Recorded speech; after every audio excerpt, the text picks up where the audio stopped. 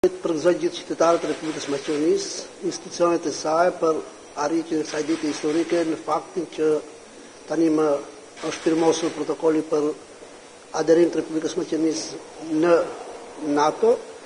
dhe me këtë fillon procedura e ratifikimit të protokollit për anëtarësim tonin në NATO. Kur tejkalohen gjithë ato sfida nuk mendohet më për sfidat, për faktin që i kemi tejkalu gjitha dhe nuk i llogarisim për sfidë, që kemi pas Sfidat gjithsesi kanë qenë sfida të theksume për faktin që duhej të bëhet një veprim të cilin s'do mend se në kuptimin emocional një pjesë e qytetarëve nuk e ndjejnë tamam ashtu siç parashihet dhe me rezultatin që ka ajo sfidë,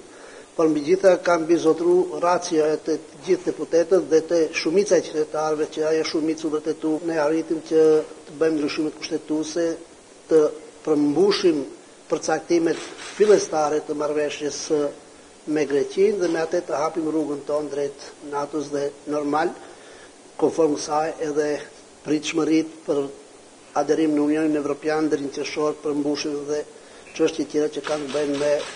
nevojën dhe mundësinë për hapje të datës së negociatave për paraaderuese në Unionin Evropian